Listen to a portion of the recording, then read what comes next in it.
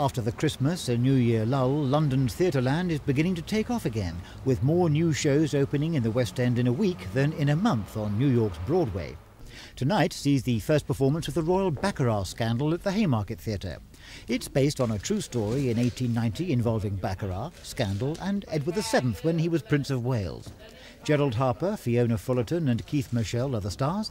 It's already had a successful provincial run, and it's one of a number of plays and musicals that have arrived or will be opening soon in the West End, which will, as critic Sheridan Morley suggests, either beguile us or perhaps won't. There are kinds of shows now that survive without very good reviews. This one, in fact, opened in Chichester last summer to a less than ecstatic press reaction. But once you have the title Royal and Scandal in the title, and you come to a theatre like this, the Haymarket, where in fact the audience still dresses on first nights in dinner jackets, there is clearly a great nostalgia market. And there are shows that can transcend immediate problems of not perhaps being wonderful scripts. There's a show at the Savoy called Over My Dead Body, which is a really appalling little comedy thriller which is neither very comic, neither very thrilling. But that does have Donald Sinden, who again can sell tickets over and above any problems with the reviews. Some shows have a life of their own, which is not to do with critical favour.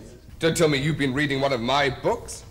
Only as an object lesson in the improper use of a blunt instrument. So, what are the plays that you think might lift the London theatrical scene? There's a huge new musical, Metropolis, coming into the Piccadilly Theatre. That's costing four million pounds, and no one knows whether or not that'll work. Equally interestingly, there's a little tiny show coming into the Fortune next week called Forbidden Broadway. That's been running for about 10 years in a New York nightclub. It's the first ever English production of it. And that really is a satire on all the other shows in town. It's a parody of Les Miserables and of Phantom of the Opera and of Cats. And it's a very rare example of show business making fun of itself. More seriously, there's also a marvelous double bill coming into the Queen's Theatre next week by Alan Bennett from The National. Oh, That's called Single Spies. So you could be spoiled for choice for theatre going this year, but the message message seems to be choose carefully. Christopher Rainbow for Thames News.